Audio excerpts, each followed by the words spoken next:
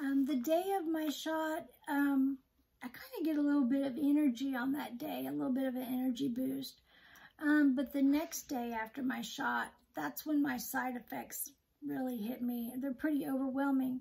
Um, I get tiredness and nausea. And um, the only thing that I can compare that to is, um, you know, when, you, when you're pregnant in the first three months, you get morning sickness. It's kind of nausea like that, except for the fact that the, not, the nausea never goes away. It lasts all day long. And the tiredness, oh, I work, I work, you know, every day, eight to five. And, and the tiredness for me is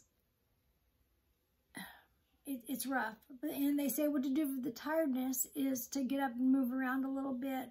And sometimes that does help a little bit. So um, the nausea is caused because um, our stomach's empty and the, the semaglutide um, slows down our digestion, which helps the pancreas um, make more insulin.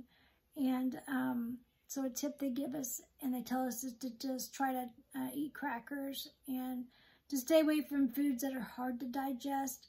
You know, don't don't eat things like raw vegetables and try to stay away from sugary foods and also try to stay away from high fat foods too.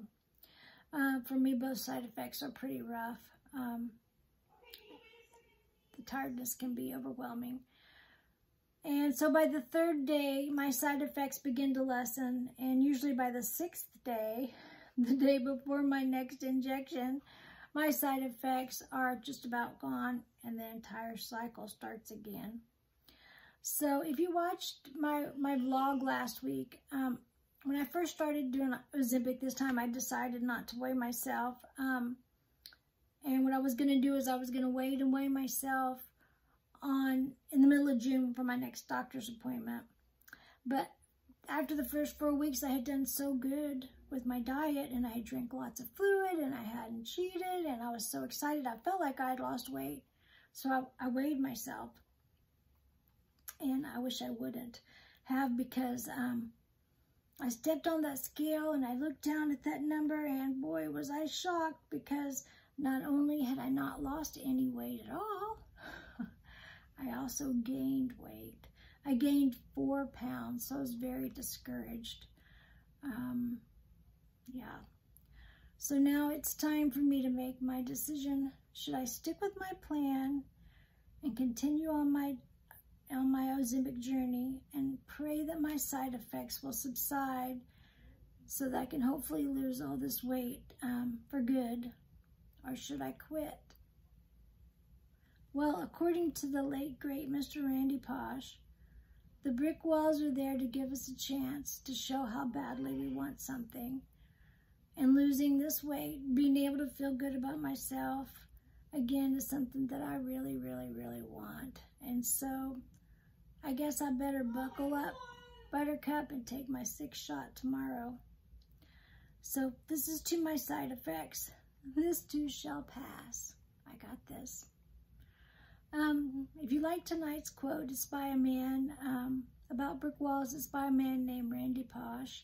And he, uh, he was a great man. He was a father. He was a husband. He was a college professor.